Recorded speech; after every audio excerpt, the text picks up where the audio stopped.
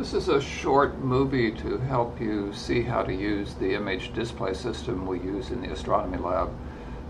The software is designed to help you look at images without having to load software on your own computer.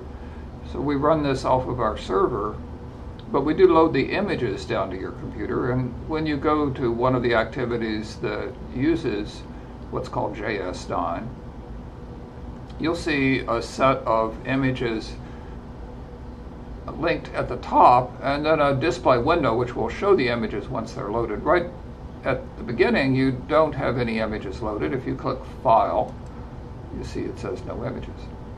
Let's load the blue image of the Tarantula Nebula in this example and suddenly it appears in the window. This image is being displayed on a log scale and it works better if it's linear, so we'll put a linear scale on it. And by holding the mouse button down, I can change how that image appears. I can make it too bright or too dark or maybe just right, somewhere in the middle. It's also an image for the blue filter, so I'll change its color to blue.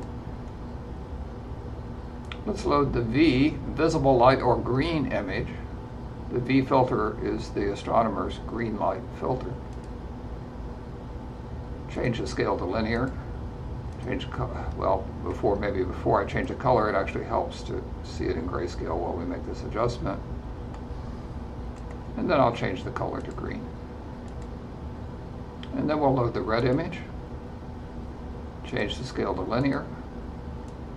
Change the way it's displayed so that we can see some detail and change the color to red. So I've associated a color with each image, and if I look in the File menu, I'll see I've got all three images loaded, blue, green, and red, and the one that's being displayed actively is highlighted here with a little yellow, um, uh, actually it looks like a sun marking that image.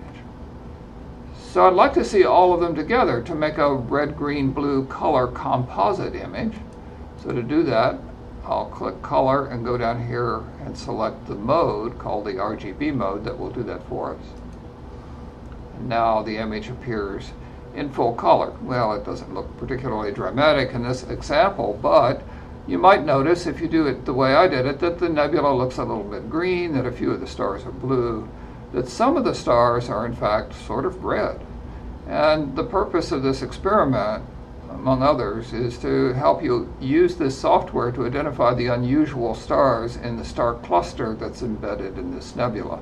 So at this point, you can actually go forward with the experiment, or if you want, you can go back and adjust the individual colors. For example, if I want to change the blue color a little bit, I'll click the blue image, and now I'm working on the blue image, and then use the mouse to change the blue color. I can make it too blue, or not blue enough, or just try to adjust the level just a little bit to get something that's a little less blue in the background, maybe a little blacker than that. And maybe it's too green, so I could play with the green, I could play with the red until I try to adjust to get a natural looking color.